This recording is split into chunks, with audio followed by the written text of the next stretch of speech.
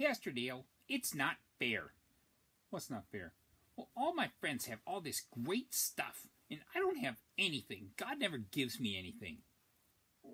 What do you mean you never don't have anything? Well, I don't have the latest games and toys and all kinds of stuff that my friends have. Well, you know, God blesses us with all kinds of things. He gave you a family, right? Well, yeah. And you have a place to live, right? Yeah. There's a lot of snow there right now. Well, yeah, but it's still a place to live, right? Well, yeah. And you have plenty to eat, right? Yeah, my mom's a really good cook. Yeah. So you've got some good stuff, right? Yeah. And you do have some games and toys. I've heard you talk about them before. Well, yeah, some. Well, so it sounds like God's blessed you with all kinds of stuff. Yeah, I guess so. And even more than that, you know, it kind of reminds me of when uh, God promised to bless Abraham. Oh, yeah? Yeah.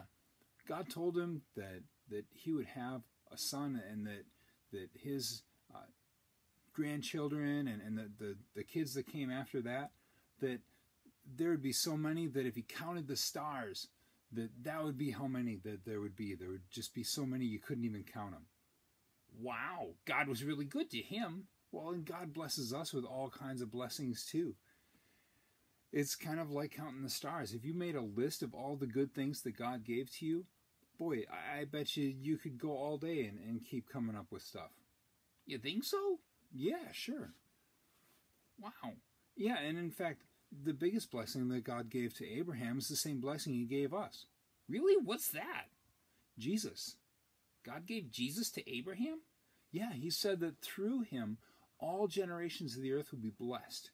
And that means that, that one of his descendants, one of his great, great, great, great, great, great grandchildren, was Jesus.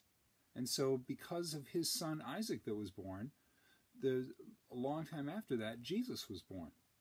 And through Jesus, because he died for us and rose again and lives forever, so that we can live forever with him, everyone is blessed because of Jesus.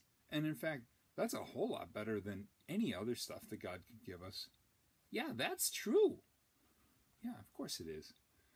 So God gives us quite a few blessings, doesn't he? Yeah, he does. We should thank him for that. Good idea. You pray with us? Dear Jesus, dear Jesus, thank you, thank you for all your blessings, for all your blessings. In Jesus' name. In Jesus' name. Amen. Amen. Hey, so we can share those blessings with others, right? Yeah.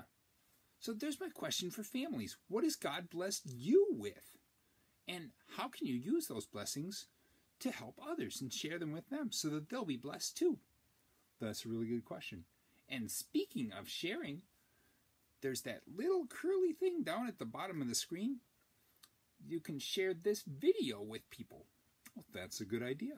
That's a blessing too, right? Yeah, you'd like to think so, don't you? I guess so. Okay, bye. Bye bye.